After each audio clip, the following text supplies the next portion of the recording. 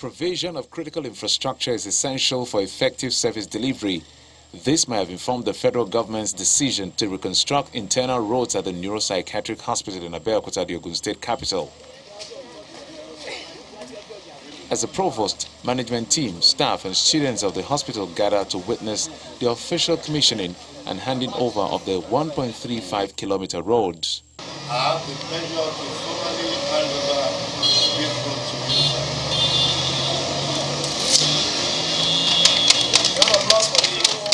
According to the Minister of Works and Housing, represented by the Ogun State Federal Controller of Works, Mr. Umar Bakare, this is part of the critical interventions taking place in federal institutions across the country.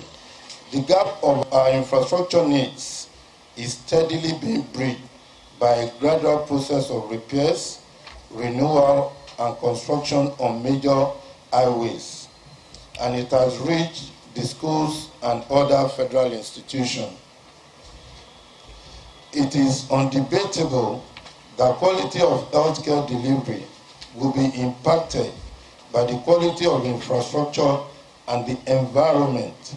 And those who doubt it should simply listen to some of the feedback from staff in the hospitals where this type of intervention has taken place. The provost, who also doubles as the chief medical director of the hospital, could not hide his admiration for the prompt action by the federal government. I want you, sir, to convey our appreciation to the minister, to Honorable Minister of Works and Housing, and to particularly mention what we just said. I'm, I'm sure a lot of people, your, your press have interviewed them. They have expressed their delight seeing that this road network is done.